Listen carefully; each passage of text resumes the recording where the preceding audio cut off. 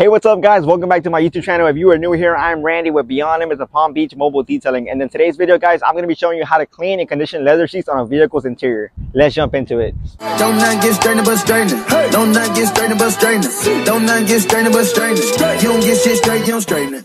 Today, we're going to be working on these white leather car seats, guys. They're pretty nasty and haven't been cleaned in a while. In order to clean them properly and condition them, guys, we're going to be needing an all-purpose cleaner. I have your Super Clean diluted 8 to 1. We're also going to need uh, something to agitate the cleaner with. So for example, like this Ninja interior scrub pad or this scrubbing mitt, guys, that is actually meant uh, to clean uh, leather seats. So either or works. We're also going to need some microfiber towels, uh, one or two microfiber towels to dry our uh, cleaner after.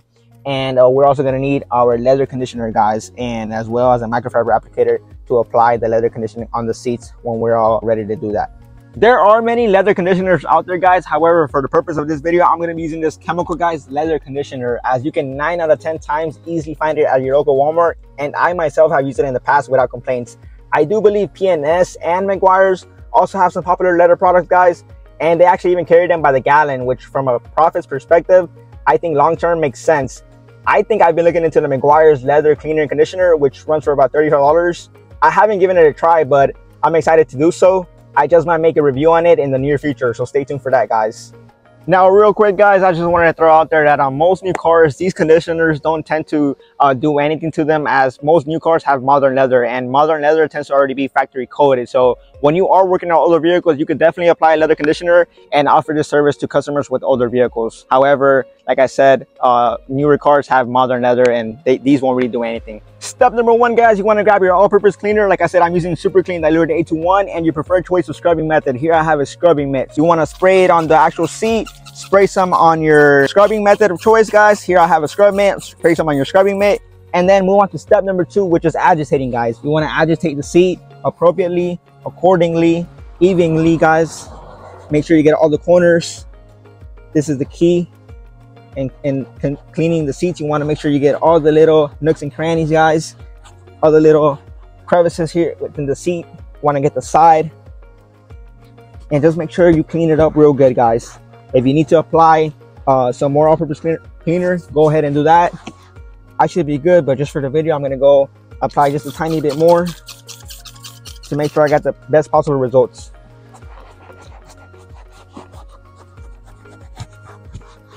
Step number three, guys, we finished agitating the actual seat. We're gonna get our microfiber towel, guys, and wipe it off. We're gonna wipe off all the super clean, all the all-purpose cleaner off the entire seat, all the dirt that we just agitated off the entire uh, seat. In this case, half of this seat. You just want to make sure you dry it out, guys.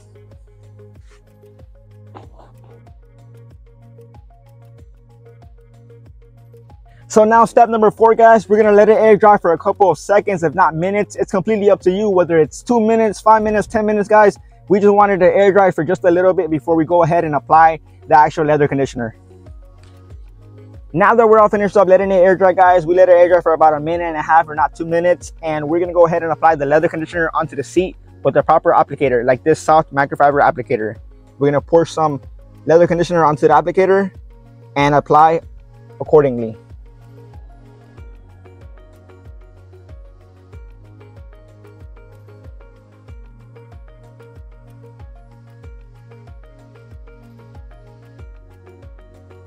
You want to make sure you apply it evenly onto the seat, get all the little corners like I mentioned earlier. Make sure you just get the entire surface. You want to get the front of the side and this side as well.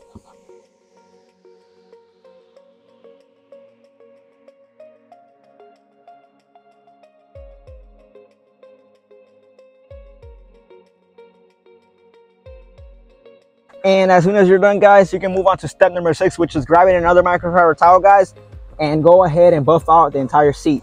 Gently wipe off any excessive product in the seat, basically making sure everything looks even and uh, there's not, you know, a lot of leather conditioner that might get onto your clothing later on when you sit on it.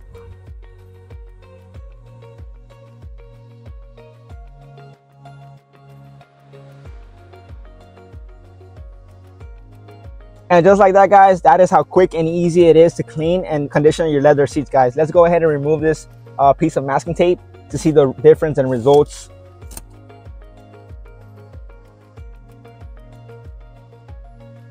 So as you can see guys, this is the half that we clean and this is the half that is still dirty, that is not clean and that is not conditioned.